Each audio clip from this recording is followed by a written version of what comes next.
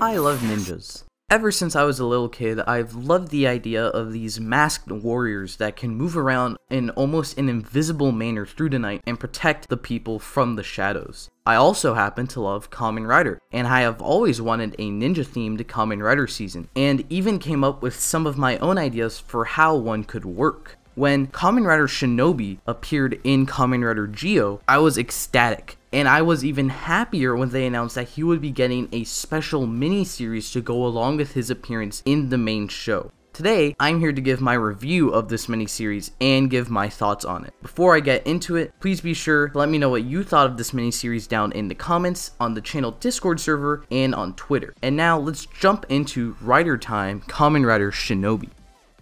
In the beginning of the whole series, we get a nice explanation of kind of what's going on in this world. It's set three years in the future in 2022, and they explain that because of problems in the world's ecosystem, now they're training people to become ninjas to combat to, to combat this because they have power over the elements. It's a bit of a strange idea, I guess. That's probably one of my biggest problems, just the idea of why there are ninjas in this world. Seems a little strange. They didn't really need to do it. They could just explain this is just some ninja city or somewhere within ninja school. You don't really have to come up with this weird idea that ninjas are needed to save the world now. That felt a little strange, but it was alright. That's how that's how we open it, and I kind of like then throughout this series, we kind of they kind of expect you to know how Kamen Rider and Toku works so they don't really go over in explicit detail about all this stuff. For example, we never really explain where Rentaro gets his gear, or at least, yeah, his gear, his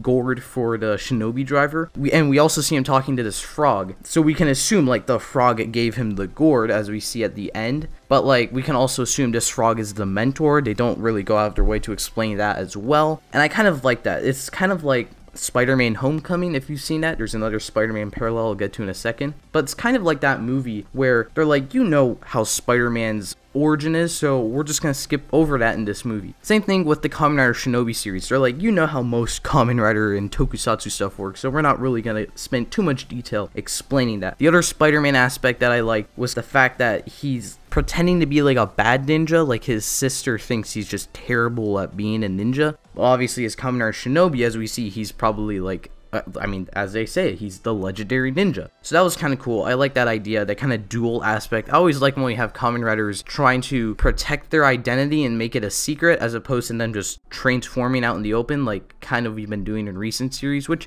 that's fine. But I always kind of like this mystery, this double aspect, no pun intended, when we have the Kamen Riders trying to protect their identity. That is always cool to see. Speaking of Rentaro's character, I also really like the interactions with his sister. Just kind of the two of them I mean, just kind of yelling at each other, poking fun at each other. I like that kind of interaction. It's something we don't really see too often in like in Kamen Rider. Just the Zi-O series, for example. Like Zi-O never really acts kind of in this like brotherly or sisterly manner in Tsukuyomi's case. They don't really act like that around each other. They just act like friends. But I kind of like how we have a family member of our main writer having a big part in the series. The sister character is fine. She doesn't really do too much. She's more of a plot device, I guess. But from the sister, I kind of want to segue into Ichi, who's coming out of Hattori. I don't really like Ichi. I kind I'm uh, okay. I'm mixed on Ichi. I feel like there was an opportunity here where we realize that Ichi's father works for whatever the big ninja corporation is called. See, that's where I'm saying like the ninja thing gets really out of hand. There's a company of ninjas. What? So I feel his father works for or is in charge of this ninja corporation. He is the son of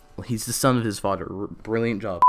He's the heir to this company. But we're told this company's like evil because they fund the Rainbow Ninjas, the the evil group of the series. So I thought like when he was fighting Shinobi, trying to stop his sister from winning the tournament, I thought that was him like working for his father, or I thought he was gonna join up with Shinobi and fight against the Rainbow Ninjas against his father, kind of like be rebellious against his father. That would have been cool to see. But instead, he's just kind of a rider for just a goofy reason, which is just to stop Shinobi so that he can be the one that everyone likes. Well, no, everyone already likes him as we see. He just wants Iroha, the sister, and she likes Shinobi, which is also a bit of a strange thing because that's her brother, but she doesn't know that, I guess, so I can't really complain too much. But anyway, Hattori wants to stop Shinobi because he just wants Iroha to like him. I mean, it's it's simple, but it's very strange it's strange, but I just kind of like the character, I guess, because just the way he is, like he's very goofy. He's honestly really funny. He's kind of he reminds me of Ryuga, except he's just not as a good a character. He's basically Ryuga if you take out the character because he is kind of funny. He's not as funny as well, but he is funny, and I, I guess that's his defining trait, and I guess I like that about him. So he's alright. He's tolerable. But where we don't get tolerable is our villain here. The villain just wants to expose Shinobi and figure out who he is